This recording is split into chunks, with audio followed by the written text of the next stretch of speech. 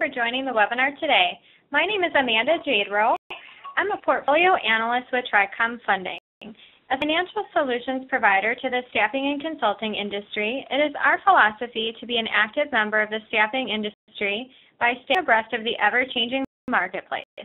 For this reason, TRICOM was pleased to launch the Industry Insider webinar series designed to share our expert knowledge and resources with our staffing industry colleagues.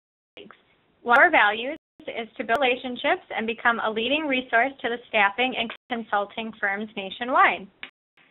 Our speakers today are Josh Scher and David Miner. Began at TALX Equifax Workforce Solutions in July of 2008 as a business development representative for the tax management services team, which specializes in unemployment cost management, tax credits and incentives, and employment tax services. Josh is responsible for working with small to mid-sized clients in the staffing vertical to align our services or their services to fit their needs. Dave 29 years of unemployment compensation tax management experience in account management and client relations where he was responsible for program performance, education, and ongoing customer service Fortune and key clients of Equifax Workforce Solutions. Currently, Dave manages the Equifax Workforce Solutions regional tax managers and sales support teams responsible for new business development and subject matter expertise with focus and, and emphasis on unemployment cost management. Equifax Workforce Solutions offers a suite of services to assist clients in maintaining compliance with various federal and local regulations. Of unemployment cost management, Equifax Workforce Solutions provides claims administration and hearings and, and employee tax services. Headquartered in St. Louis, Missouri, Equifax began business in 1973 and currently services more than 7,000 clients. Today, um, we're going to talk about um, employment management an effort to replenish the state unemployment reserves and reduce improper benefit payments states began shifting the responsibility and increased unemployment cost to employers. Uh, so today, our speakers uh, from Equifax are going to share their knowledge on the unemployment system and claims management process for a holistic cost management approach to cover the current economic update, employment fundamentals, unemployment compliance, U integrity laws and SIDES program, and employment cost management. So by the end of today's session, uh, we will have covered how you can reduce your staffing firm's exposure by saying unemployment, employment costs. Questions during the presentation today, please utilize the Q&A feature located on the right toolbar, or you can use the chat feature. Uh, after the presentation, there will be some time for questions and an opportunity for you to give us your feedback on today's webinar by completing a short poll. So I will turn the floor over to Josh and David. Great. Thank you, Amanda. Uh, really appreciate the introduction, and uh, thank you all on the line for uh, taking time out of your day to be with us today. Uh, I think we've got some good information for you about the unemployment program, and uh, just kind of I want to go over a quick agenda for us today, and hopefully we can get the slides going. There we go. Uh, just a little overview of Equifax. I'll start off. Um, we'll get into the current economic environment today surrounding unemployment, uh, which will also touch on the recent UI integrity laws. And then finally, we'll talk about uh, unemployment cost management, uh, a little bit of uh, how the unemployment system works, and some good best practices that uh, you probably want to put in place to manage the unemployment uh, claims that you're experiencing. So, just a quick overview of Equifax. Um, Equifax actually purchased a company called TALX Corporation back in May of 2007. And TALX, as you can see on the slide here, had all of these HR, payroll, and tax management services. The benefit of our clients, because Equifax had purchased us, is that we were able now to have the resources and abilities to really enhance our services and create best-in-class processes for our clients. Today, however, we're just going to focus on unemployment cost management. I'm going to turn it over to my colleague Dave Meinert, who's going to kind of run us through some of the uh, economic stability today uh, in regards to the unemployment management. So, thanks, Josh, and good morning and good afternoon, depending upon where you are. Um, we uh, we welcome the opportunity to talk a little bit about unemployment cost management today.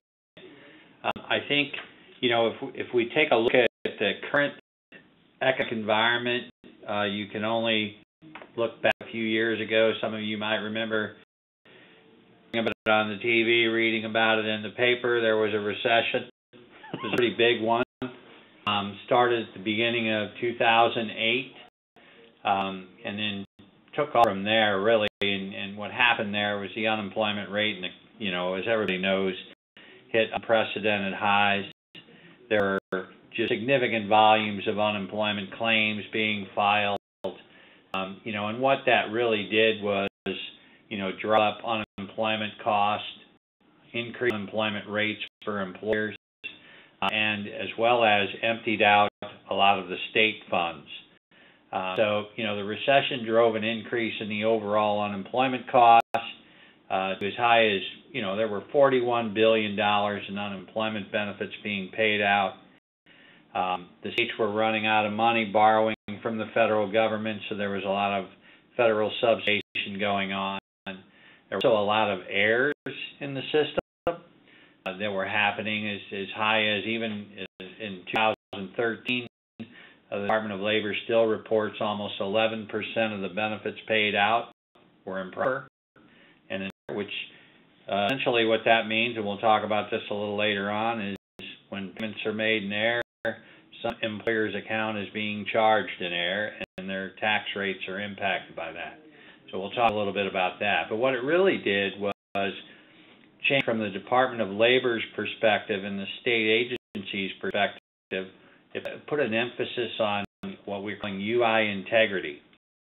Uh, so obviously, when the federal government starts subsidizing these costs, they start to put a lot of pressure on states to get their acts together and start making less errors. As a result of that, states then put pressure on the employment community in those states, um, and they've done that. So at the end of 2013, there, of, there was a lot of legislation passed that we refer to as UI integrity legislation, and Josh is going to talk a little bit about that uh, in just a few minutes. Just give an idea, the, the, we talked about those those errors that were being made. So when unemployment benefits are being paid out erroneously, um, you know, if you look at there's quite a bit of green on this on this slide, and that that's basically those ranging from an 8% error ratio to a 12% error ratio. You might look at that green and think, well, that's pretty good. I think you know if we exclude weather weather forecasters from from next comment, if we were all doing our job at about a 90% clip, we probably might be in trouble. So just give you an idea of kind of where the states are today. Um, they are making great efforts and initiatives to uh, to improve on that. Um, so if we go to, and why is that important? Because during that recession or shortly thereafter, as I mentioned, a lot of states ran out of money. Uh, state trust funds, which actually employers pay into to fund the system, they were out of money and had to borrow from the federal government. And as you can see here, uh, we have a lot of states that are that are essentially not funded sufficiently to handle another recession. And really, I probably don't have to tell anybody on the phone that it's only a matter of time until the next one. Okay, uh, so they're very cyclical and it's going to happen again, probably in another three, four years. We'll see something happen again. Um, so what the states try to do is have a certain amount of money in their trust funds that would be sufficient enough to handle the average of the last two recessions. So it would be the ones in green, where it says 1, 1.0 plus, right?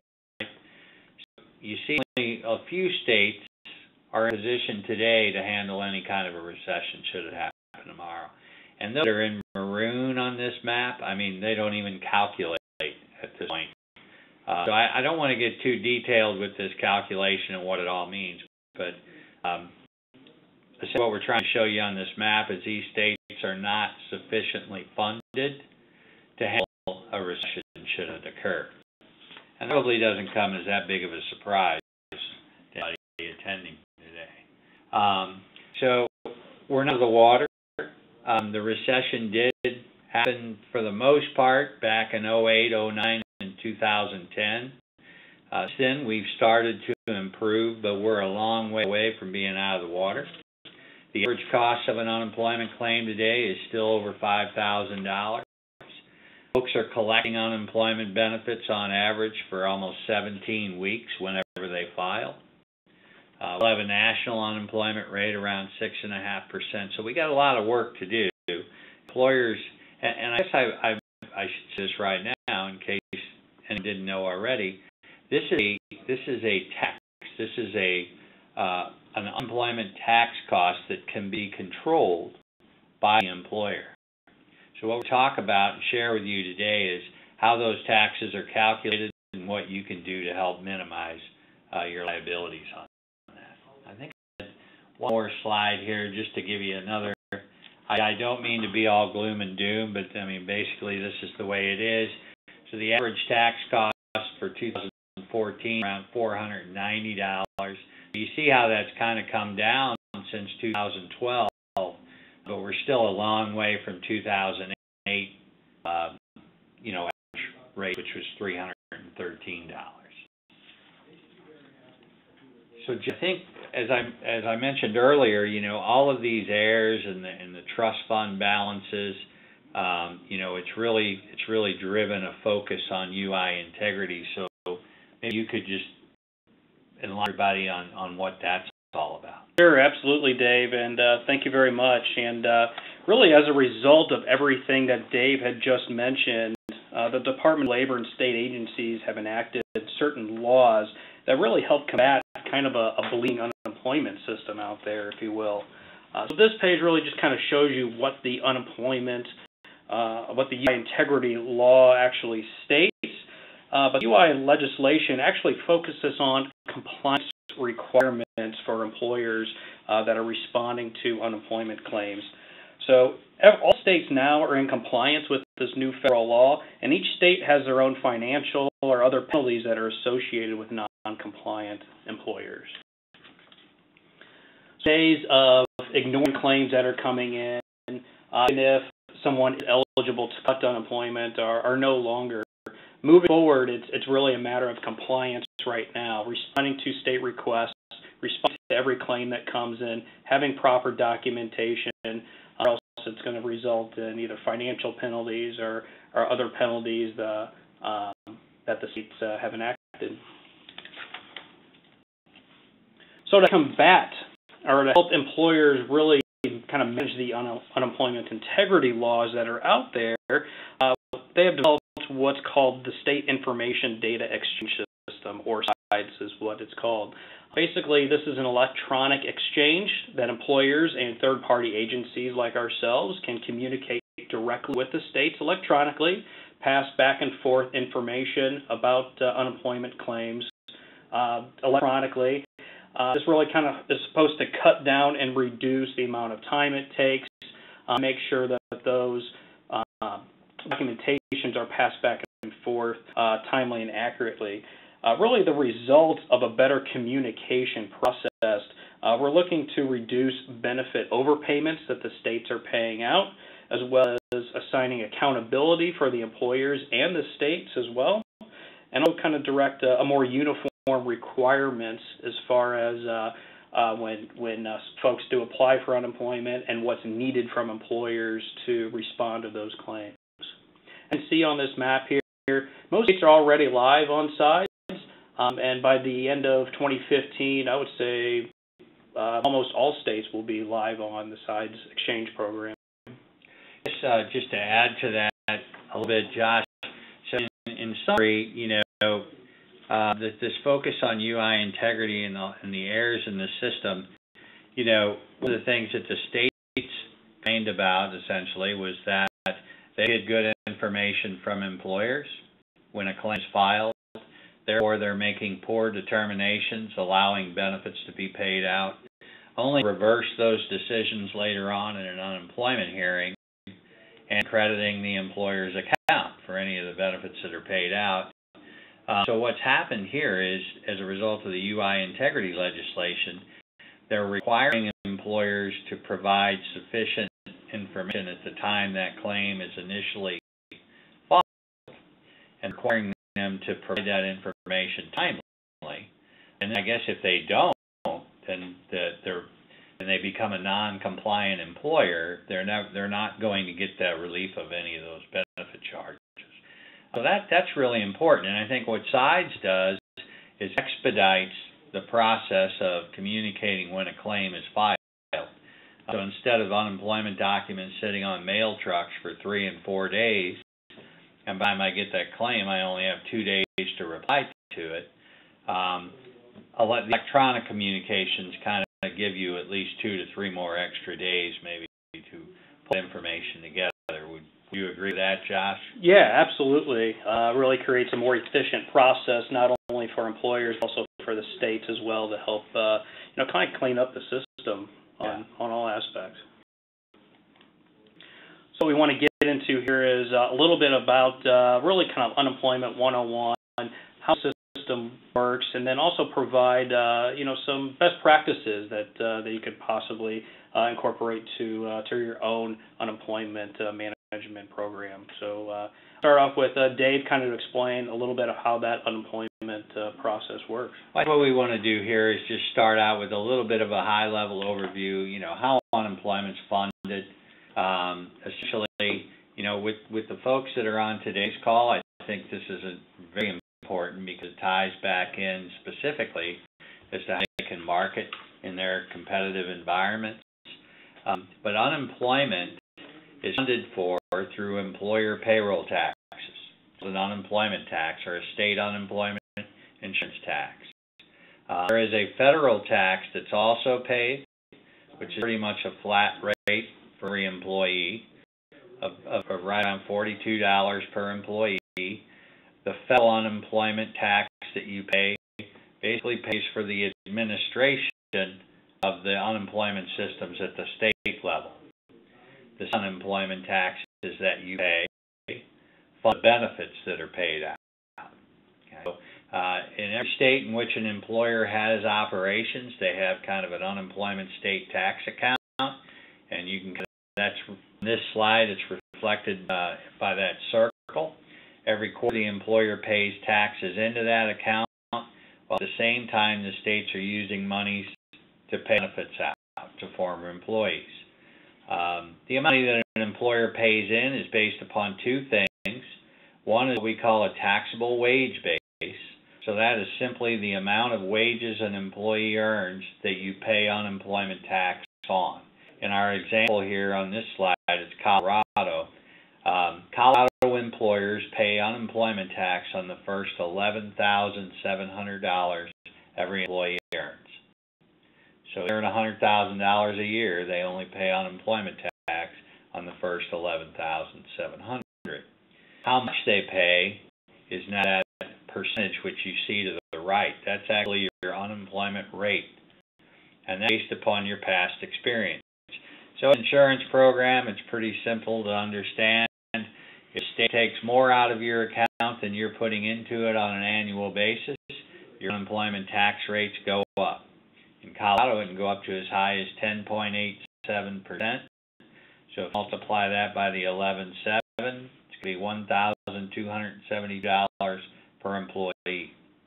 If you control and reduce the amount of monies, however, that come out of those state reserves, and, and make sure that only those people that should receive benefits are getting paid, make sure there's no administrative errors and things like that, you actually minimize your liabilities and lower your unemployment rate. In the state of Colorado, as you see here, it can go down to under 1%, all the way down to 8 tenths of a percent, basically or just $95 per employee.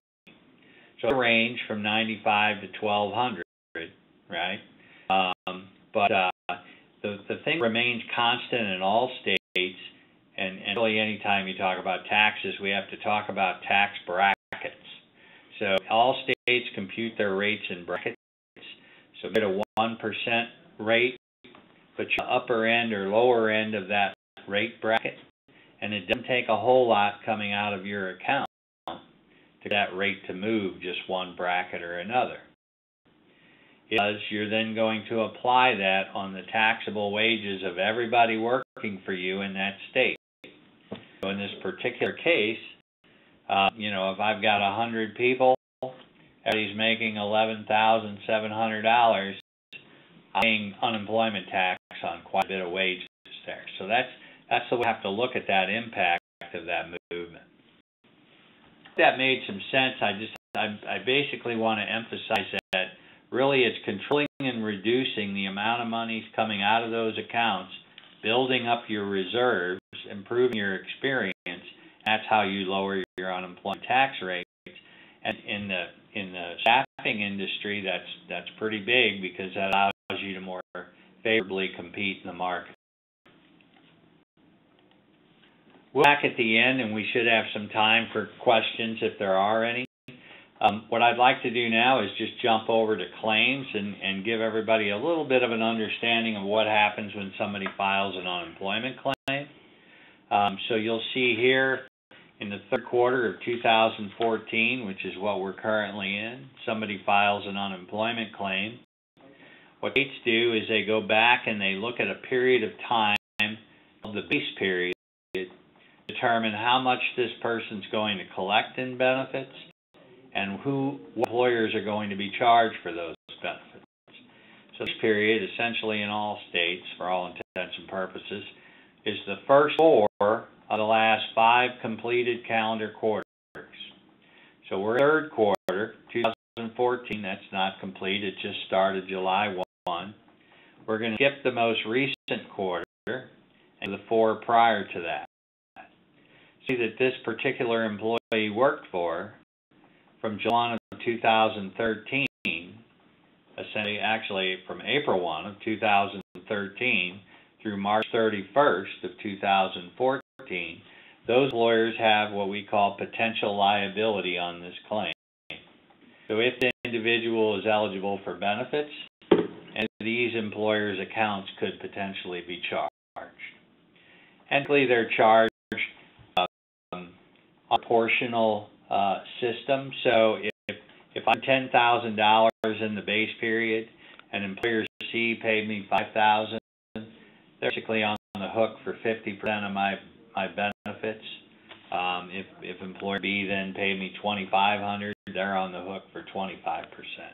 All these employers can protest their claims, uh, and should they be favorable and their accounts not be charged, those charges just go to the to the state fund, and essentially everybody pays for them. Um, kind of, you know, how, where they go to determine how much the person's going to get in benefits. They look at the wages they had. Every goes through a certain calculation, calculates the, the weekly benefit amount, and that person has a year on that claim to their unemployment benefits. Typically, you'll hear it's 26 weeks of benefits. So they essentially collect 26 weeks during a 52 week period of time. What you'll find in the staffing industry a lot, and I'm probably this is of no surprise to those folks on the phone, is you have people that might be on assignment for two or three days during a week, so they'll collect partial benefits. And so, you know, essentially they're collecting just a portion of their unemployment every week. Uh, they could be collecting every week. You know. So it's it's an interesting phenomena as you look at it. And uh, the one that's why it's just so important to pay attention to who's filing, when am I being charged, uh, for who am I being charged. I'll, I'll, I'll go back to you now. You know, we talked about what how it's funded and what the state does when an unemployment claim is filed. Now, really, what is on what's the employer's role in this whole process? Sure. Thank you, Dave. That's um, that's some great information, and uh, um, it really blows me away every time how complex this system and the process really actually is. But you know, this site is great because it really shows you the life cycle of a claim, and I guess what the involvement is of an employer throughout that life cycle. Um, the one thing I do want to point out, um, if you do have an efficient uh, process in place, um, you can really avoid taking claims throughout this entire life cycle, spending your resources and time um, fighting unemployment claims and protesting claims. So you really want to kind of focus on trying to have an efficient process to be able to win claims more at that protest level rather than, like I said before, spending your time and resources uh, going through the claims process. Uh, but uh, you do need to have a process in place if a claim does go to a hearing, if you do need to appeal, and have a good understanding of what all that entails. Um, there's a couple of aspects uh, that uh, you should probably have in place today that will help you really kind of manage the process and help you win claims at that protest level. And on the next slide here, the key areas to really kind of focus on is to really have uh, some reporting capabilities. Um, you need to be transparent into the process and into into the system, really for a couple of key key reasons. First, identify any problem areas so that you can identify those, you can get those corrected, and provide any training and education uh, that you need to your field folks uh, to be able to properly manage any claims coming in. Um, second of all, a good reporting capabilities would uh, so you can identify any liability out there. What I mean by that is your field folks can be able to identify fo- um, your employees that are collecting unemployment and be able to place them into jobs more quickly as to not, uh, I guess, essentially, Dave, drain the out of that reserve balance that you mentioned earlier. Yeah, and especially in the staffing industry, it, it's it's critical to you know, I mean, the best way to control your unemployment costs is to keep your keep your staff working, right? Absolutely. Um, and if if you do have them, and if you have to fill assignments, you know, fill those who uh, if if you if you keep track of that, you know, have the ability to determine who do I have the most remaining liability on, or who is my risk the highest on, and those are the people that I want to put back to work first. Sure, no, that's that's that's a good point, and that's what good recording and uh, good transparent into your process will allow you to do. Uh, on top of that, training and education of your field managers to properly document separations, uh, to have those proper documentations in place, and also to keep up on the legislative changes that are out there as uh, as the system continues to change. Um, any updates um, that you are made aware ahead of time could greatly benefit uh, this process for you. Jack could just go back a slide to uh, to the claim process. You know, this this separation. You know, we can't say enough about it, and especially in the in the staffing industry, it's it's extremely important to track every separation that occurs. Okay, because what's going to happen is he goes on an assignment, they finish that assignment, now out of work due to a lack of work. Okay, so they are out of work as a result of an eligible separation. They are going to receive unemployment benefits. And it might happen a couple times. So they have a claim open. Remember, I said that claim was good for a year? Mm-hmm.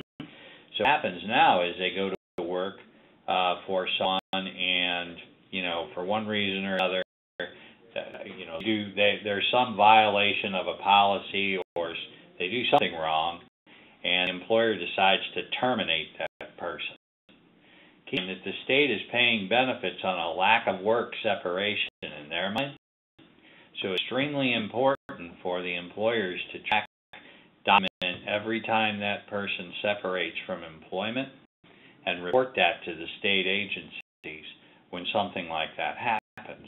Right? So subsequent separations can, or lack of documenting them, can often result in continued benefits being paid out when they shouldn't be.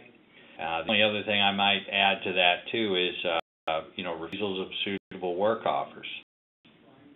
You know, somebody who, who uh, has performed assignments, have worked for certain amount of earnings, you know, per hour. uh, they've traveled a certain distance before. I mean, all of a sudden they don't want to do that anymore. Um, you know, potentially, you know, you can stop benefits based on a refusal of a suitable work offer when they've performed that work before.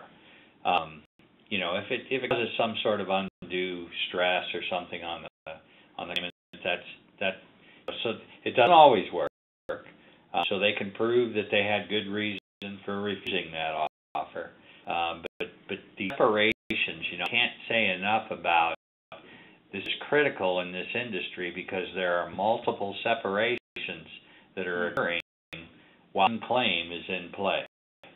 Okay. No, you're absolutely right, Dave. And the the staffing industry is uh, that's I think one of the reasons why it has to be this process has to be managed almost differently, almost than any other industry. Absolutely. So great points. Thank you. So to take you to the slide. And of course, uh, I'm a little biased, I guess, on uh, on how we manage this process, but uh, I think we do a great job of taking a holistic approach and wrapping our arms around the entire unemployment claims or what we call unemployment cost management process. Claims management, appeal and hearings, uh, benefit charge audits that I know Dave had mentioned earlier is, is really key there, and it's really tough for employers to really manage that aspect of it simply because it, it's very detailed uh, to really take a look at those benefits going out and making sure they're accurate. So that's that's one thing I know that a lot of our unemployment clients benefit from just by that service alone uh, is to check those benefits going out, and then we can go back and protest those on your behalf to the state. Um, Dave, I didn't know if there was anything else you. I think the only thing I would add to that is, you know, it is difficult. I mean, we have obviously we have the tools in place to do it, and the systems mm-hmm. in place. Uh, but from an employer perspective, I mean, just do the simple things, right? I mean, so if you charge statement from the state that says here are the people that you're being charged unemployment for, just make sure they're former employees of yours, because that's a common error that, that mm-hmm. employers are charged for people that never worked for them. Uh, make sure that it's it's not a claim that you are if you are pursuing uh, denial of benefits on it. Make sure you contest that benefit charge. Um, that essentially is it's kind of like reconciling a checkbook. You know, here are the withdrawals that are going on on your account. Make sure they're all accurate. And uh, absolutely, regardless of, of what's going on, kind of from the claims standpoint, you always have to verify what the state is charging to your account. The year, unfortunately, you get a new unemployment rate. Those will start coming out here uh, in October or so uh, for 2015, and uh, you you reconcile everything and, and verify that your rate's accurate.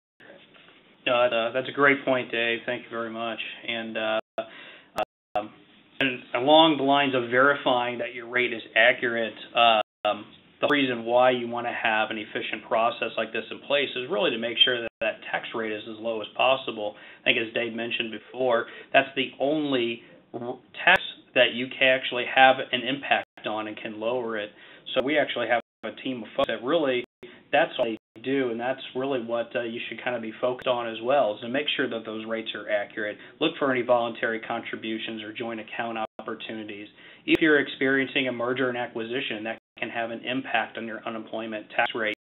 And uh, also, as Dave mentioned earlier, that uh, that that rate, even just going up one bracket, can have a huge impact on your bottom line. I think we should, you know, just to explain, um, not not sometimes we apologize because we is all we talk about every day. um, but a voluntary contribution is basically a, a buy down of your unemployment rate. So when your rates come out, um, about half of the states in the country allow you to they'll allow you to write a check, send it in within 30 days, and it, and the check should be enough just just to cause your rate to go in one tax bracket. So I mentioned earlier, sometimes it's a little as five hundred dollars. You know, if that changes your tax rate and you apply that incremental change to your total taxable payroll, savings far outweigh what it costs to to, to get down. So uh, voluntary contributions are some. If you're not looking at them today, definitely look at them. joint common rates, we talk about that. Uh, that basically is certain states, about 13 of them out there. If you have multiple legal entities within those states, you combine the experience of any two or more um, to get your unemployment rate that, that's amongst all of the entities. So you'll usually have somebody that wins and loses in that process, but the organization overall is going to spend less in unemployment tax. Um, so, you know, and there's some special rating strategies. Arkansas, you can you can use, there's options associated with whether you want three, five years of experience uh, included in your rate. In New York, they allow you to write off negative negative balances and things like that. All I'm saying is there, there's a lot more to this than just responding to an unemployment claim and sending it back into the state. Uh, it becomes very important to see who the state's charging your account for, and then when those tax rates come out, make sure you take advantage of every opportunity you can to uh, to, to lower the rate and save money. Points again, Dave. Um, and I guess what what we're kind of, trying to say here is what it all comes down to is that if this process isn't managed properly, it can be extremely costly to uh, to employers. Absolutely. I mean, just one missed claim, one untimely appeal, you know, this voluntary contribution. You know, if the needle moves just one bracket, and these brackets are typically very small. They could be a tenth of a percent. So I'm just saying, moving one bracket. Sometimes they'll move two, two or three brackets. Um, so any movement in that in that tax rate, you have to apply that to your total taxable payroll, and that often can either cost or save. Right? If it goes down, it can save thousands of dollars. In the staffing industry, I can now more effectively compete my market. What all about being able to compete with the market, uh, having higher margins on your uh, uh, on your clients and the process or the uh, the products that you have out there. So I think that's all we have for today as far as slides go. So I'd love to open it up to the floor for any questions and answers. And Amanda, I don't know if you want to uh, uh, kind of run that or not. Sounds great. Thank you so much for sharing the information. Um, I, I know that there's a lot to talk about in this area, so I think you guys did a really great job of covering some really key aspects of ways that employers can kind of take the reins and take control of it and help reduce their overall costs. I think it was a great point to talk about the voluntary contributions. If you um, were to do that and go that route, does that affect on what your future ratings or percent would be on for um, next year? Is impact on that, or would it still remain the same? So it would, it yes. I mean, basically, what you're doing is you're adding directly to your reserve balance. Uh, typically, we would hope it wouldn't have to be too much, uh, because the lower your voluntary contribution would, would require to be, the the more your savings would be probably. Uh, we usually typically don't want an employer to pay in any more than they need to, right? So uh, if it only in, in the example I used, it was five hundred dollars. You can a thousand if you wanted, but now you're paying five hundred more than you need to, and it would go into your reserve balance. So that might impact your your future tax rates. I don't know if that answered your question. Uh, it did, yeah. And and how would you know what amount to that you would need to supply? Are are they giving you that information? Yes, that's usually provided on the rate notice itself. Uh, so, and basically what it is is it's a it's a ratio. So, um, whenever we talk about unemployment insurance or insurance period, we're talking about risk. And the way they calculate your risk in the unemployment world is you have a, a reserve balance. It really is like a bank account. So you have a, uh, a certain amount of money, for example, in the state fund, and what they do is they divide that by your average annual payroll. You change that ratio, that's what changes your rate. So what we do is we calculate that, and you can do this. The instructions are typically on the rate notices. Um, you can calculate it just enough to change that, that ratio so that it moves you into that next bracket. Okay. And we'll make changes to um, any of the procedures that you're doing. Um, so you're, you basically had indicated that the rates for the 2015 calendar year are going to be out in October of this year. So changes that you've made then wouldn't really affect you until the following year as far as future rates? Great question. Um, you know, so the typically the, the the unemployment rates are in effect January through December.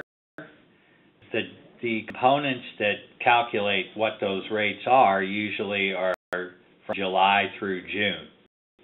So, you know, essentially all of your 2015 rates at this point, there are a couple of exceptions, not many, um, are basically determined at this point. So anything you're doing today would impact strongly your 2016 rates as it relates to claims and, and charge checking and things like that.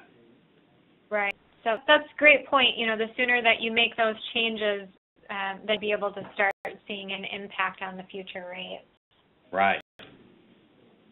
Okay. Um, I have another question that came in. I received a notice for unemployment hearings um, every few weeks or so, and there is a scheduled time that they're supposed to call me, but I've never received a call for this. Do I get penalized for not attending these calls? Um, boy, that you know, the the penalty associated with that might be that the hearing took place without you, and you might have lost, right? So, uh, I, you know, without any, without seeing the notice, I don't know, but sometimes they'll require you to call them with a phone number that they're supposed to reach you at um, ahead of time, or there's a specific phone number that you need to call, but you know, it, it I don't know why they wouldn't call you. Um, you know, and you really do need to provide that that specific phone number to most states. If they're calling into a general switchboard, you want to make your switchboards aware that hey, I've got a hearing. You might call from the state of Minnesota or whoever it might be.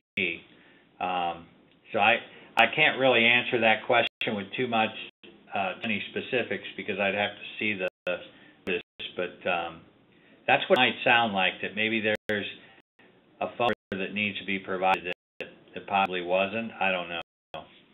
Are you able to call into these, or do you have to wait for them to call you? That depends on the state, Amanda. And uh, okay. some some states you call in, other states they call you. It just it it kind of differs from state to state. Okay, great. Um, and you had given an example of Colorado where you had shown what the tax liability was and what the minimum and maximum per person per employee charges. That was a, a great piece of information. And now I know we have a lot of clients that service multiple states or are in states throughout the United States. And I just wanted to make mention of a tool that we have on our website at tricom.com slash resources. It's under the tax tools. Is a, a downloadable document for every single state that will tell you the exact information um, that was mentioned about Colorado. It's for everyone to, to know that, particularly if you're um, working in multiple different states. Um, and, and you may also have another type of resource like that available for someone, um, but I did want to mention that tool today. I mean, it's it's great information to have and, and resources like that where you can get to them. Um, we do we, we actually post out on our uh, on the Equifax Workforce Solutions blog. We call flash reports. So we update that kind of information periodically and provide those, those tools as well. Okay, some great resources um, for people to be able to access that information. Um, another question that has come in is can Keeping a PEO or employer of record help or hurt your UI rate? So um, it's an interesting relationship. Um, typically employees. So if I'm a, a client of a PEO, professional employee leasing company, um, then I am, for all intents and purposes, leasing their employees from the PEO. Uh, so that the PEO assumes the liability on those people. They're paying the tax on those people. Now they're probably charging that back to me uh, in some way. Um, you know, on our relationship and the contract and how that all works. Um, but you know, I would say in some cases, in most cases, it's probably going to help the employer's UI rate. Also happens sometimes with PEOs is they may distribute the cost amongst the different staffing companies they're working with. It might just also depend on what they have in their portfolio and what their rates are to see if something that hurt or help you. I mean, but it's a great question. I mean, it, but it, again, it's it's just sometimes it's in the details, and um, but um, usually that's the case. I mean, the the volumes usually help.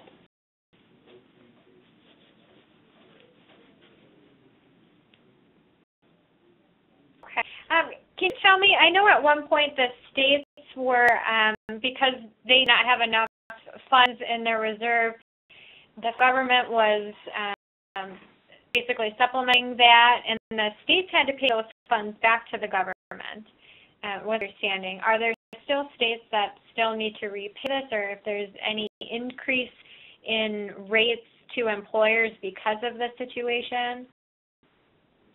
There's currently uh, 14 states are still in uh, in a in a repayment status on the, what's what's called uh, Title 12 loans from the federal employment reserves. Um, and, and, yes, all those states have to pay that money back. Uh, you know, the interest was was waived. That was nice, but um, and typically uh, the states have to make some payment or, or the equivalent of a portion of that payment by a certain time of each year. If they don't make that, um, then what's going to happen is they get an increase in that federal unemployment tax I mentioned. So the, the federal unemployment tax, let's talk about that uh, briefly. Is all intents and purposes at six tenths of a percent on the first seven thousand dollars every employee earns. So it's forty-two dollars per employee. Now, some states that don't make that payment back on their Title 12 loans or, or a portion of that payment by a certain time get a uh, an additional tax on that federal tax, but you get a three tenths of a percent increment. So if you're one of those states, you might have gone from 0.6 to now 0.9. So now you're paying $63 per employee. Um, there are a couple of states that are up at like 1.2. Okay, um, so they're still in repay mode. Uh, some states are getting pretty creative in how to pay those loans back. Whether it's you know Michigan, they they generated a bunch of bonds to pay back. I think Texas did something similar to that. Um, some creative ways of doing it, and they've they've been effective. Um, yeah, where you're going to see the increase in taxes, Amanda, is on the federal unemployment tax. Okay, great. I have a couple questions that have come in. Oftentimes, employees will fail to maintain con contact after an assignment, then file for unemployment. Are these claims protestable, and if so, what best practice to help ensure we win the claim? Sure. So uh, failure to maintain contact is, is pretty common in your industry. So it's important to have some best practices in place when you do that because um, you know when those folks go out and they file for unemployment, um, they're not exactly uh, eligible to receive unemployment because if they've been offered a job or a similar type offer that they have in the past and have not either accepted or have um, not come back after a job and said that they're ready for or they're eligible for a continued job, um, th- those claims are protestable and should have the proper documentation to be able to protest that at the at the first stage of the claim life cycle. I think what I would add to that is, you know, I mean, the initial claim, when somebody files a claim, in order for them to be eligible, they have to be, out, they have to be able and available for work. They have to be actively seeking work. So, you know, someone finishes an assignment, even though they're out of work because of lack of work, if if they don't contact the branch and see if there's another assignment for them to take on, uh, then argue that they're not actively seeking work. Uh, in some cases, maybe they're not even available for work, so they're restricting their availability. Uh, so it's important to know that yes, you can protest those claims. It's also important that the employer must have a policy, uh, and most staff employers know this and have this these days, but that they have a policy that, that, that the employee knows when you finish an assignment, you must contact the branch um, to just there's another assignment to go on.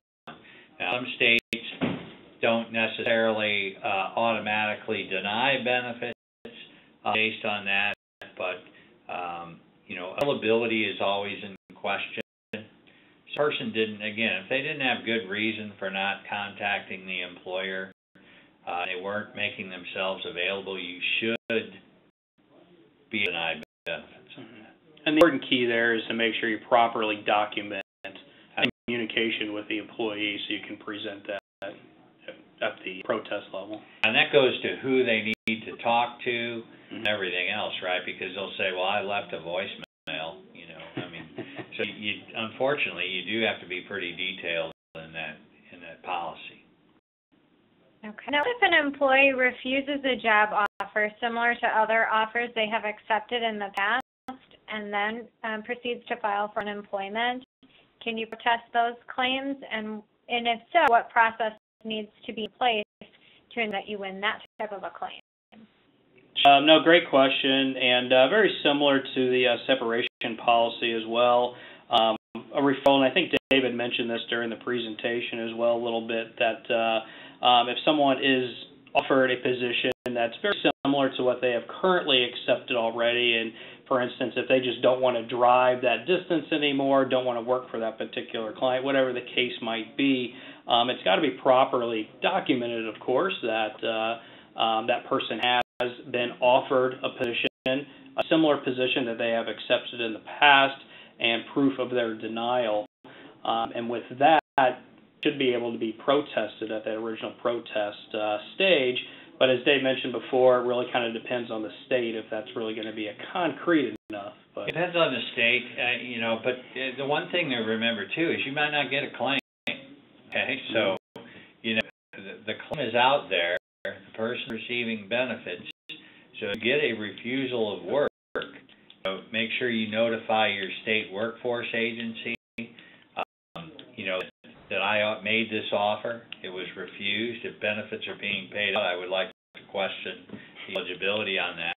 Include what the offer was, what the rate of pay was, what the hours, you know, offered were. Um, you know, in some cases, even though the person may have, let's say person commute 20, 20 miles before, and they won't now, they might have moved.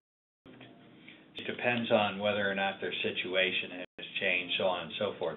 But always, I always encourage report job refusals, and you should do it immediately, right?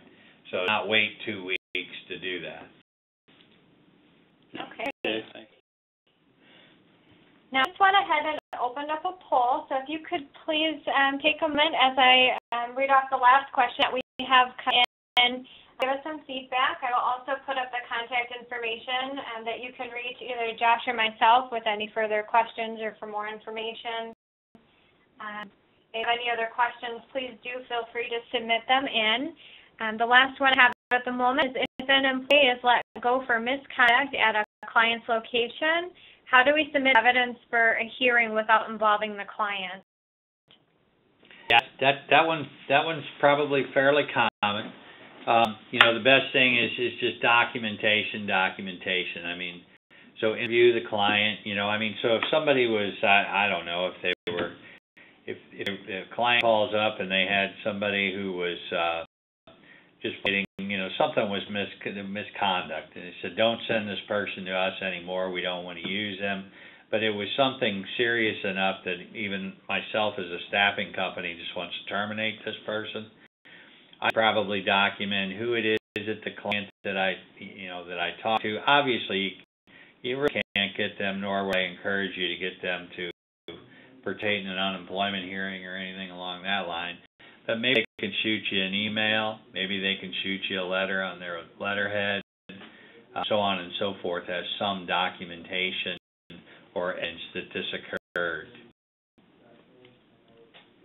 Yeah, it sounds like a lot of the information that um, I'm hearing is documentation, documentation. Um, that's a real key to um, fighting some of these claims.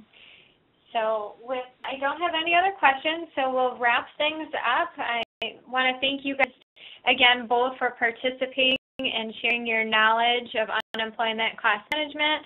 Uh, we have a recording of the webinar available on our website at tricom.com under Resources tab. You'll find the Industry Insider webinar section. If you, again, have any other questions, please feel free to reach out to either Josh or myself. Um, watch for more information on our next webinar session, which will be held on Thursday, August 21st. As a speaker, Wilson Cole from Adams, Evans & Ross will present the deadly mistakes staffing and recruiting firms make in collecting debt. I hope you have a fantastic afternoon, and thank you so much for your time today you very much. Thank you, Amanda.